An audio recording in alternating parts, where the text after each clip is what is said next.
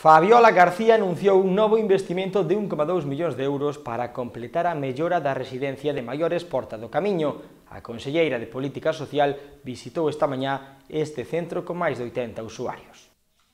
A conselleira de Política Social Fabiola García anunciou hoxe durante unha visita á residencia de maiores Porta do Camiño a continuidade do programa de reformas neste equipamento con máis obras que se executarán ao longo dos vindeiros meses e as que se destinarán 1,2 millóns de euros. Trátase de mellorar o benestar de máis das 80 persoas que son usuarias do centro e de reforzar a eficiencia enerxética do edificio.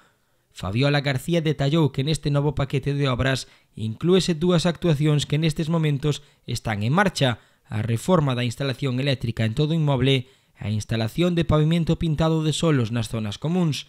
Tamén contempla a montaxe de novas caldeiras de gas cidade que comezará próximamente. Ademais do cambio completo do tellado do edificio, a obra de maior envergadura que se acometerá na residencia. Esta última intervención está en redacción e a súa execución está prevista para os primeiros meses do vindeiro 2020. Moi bons días a todos e a todas. É un placer para min visitaros eh, esta residencia de Porta do Camiño, sobre todo visitar unha residencia que é emblemática en Galicia. Non solamente emblemática pola súa situación, que se atopa no centro da capital galega e na reta final do Camiño de Santiago, senón que é ademais unha residencia emblemática pola excelente atención que se lle presta aos 80 maiores que residen aquí. Durante esta legislatura, a Xunta de Galicia comezou comezou un ambicioso proxecto de reforma, de transformación e de mellora de todas as instalacións das residencias de maiores que forman parte da rede da Xunta de Galicia. 855.000 euros que levamos investido nestes últimos anos para continuar mellorando as instalacións desta residencia.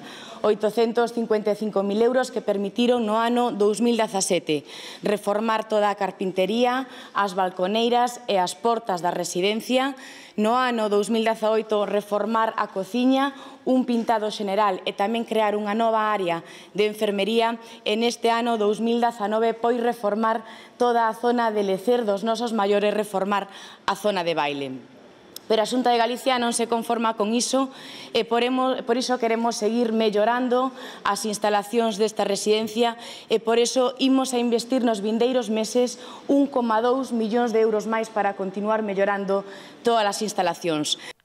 Todos estes traballos súmanse aos xa realizados na residencia no que se leva de legislatura por un montante de 850.000 euros. Estes consistiron no cambio de todas as carpinterías, as balconeiras e as portas, a creación dunha nova área de enfermería, a renovación da cociña e os dormitorios e a mellora da zona onde bailan os maiores. En total, nesta legislatura dedicaránse máis de 2 millóns de euros a mellorar estas instalacións. A reforma da residencia de maiores Porta do Camiño enmárcase no plan de obras nos centros de benestar social dependentes da Xunta que se está a desenvolver en toda Galicia a través deste programa que conta cun orzamento de 13,7 millóns de euros, realízanse diferentes actuacións de mellora en residencias e centros de día, en recursos para atención de menores e de persoas con discapacidade, en centros sociocomunitarios e en residencias e albergues xuvenís.